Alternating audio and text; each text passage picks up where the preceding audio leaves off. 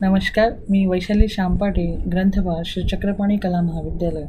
माझा आजचा विषय आहे ग्रंथालयशास्त्राचे बदलते स्वरूप.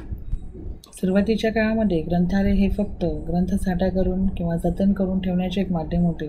परंतु या ग्रंथालयशास्त्राला फार मोठ्या उंचीवर नेऊन ठेवण्याचं काम डॉक्टर एस आर रंगनाथन यांनी केलेले आहे जे ग्रंथालयशास्त्राचे जनक आहे त्यांनी ग्रंथालयशास्त्राला five laws of library science म्हणजे पाच मूलभूत सूत्र दिली आहेत त्यामध्ये ग्रंथ हे उपयोगासाठी आहेत.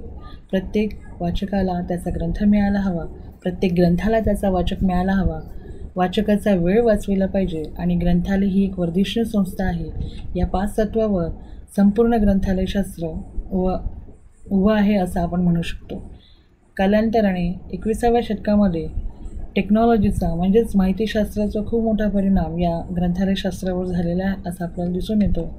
त्यामध्ये कम्प्युटर्स टेक्नॉलॉजी मोबाईल इत्यादी वेगवेगळ्या गॅझेट्सनी ही माहितीशास्त्र व्यापून टाकले आहे आणि वाचकांना या गॅझेट्समुळे एका क्लिकवर संपूर्ण माहिती घरबसल्या एका क्लिकवर मिळू शकते.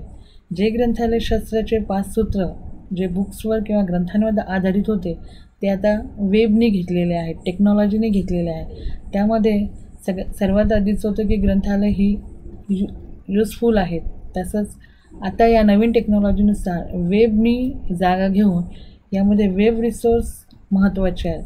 प्रत्येक वाचकाला वेब रिसोर्स मिळायलाच हवा आहे.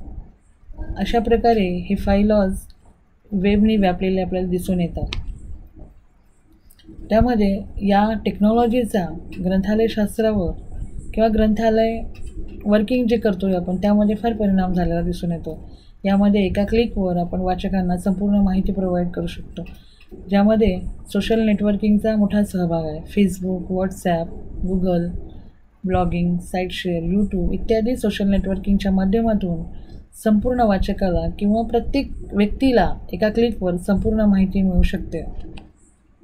धन्यवाद.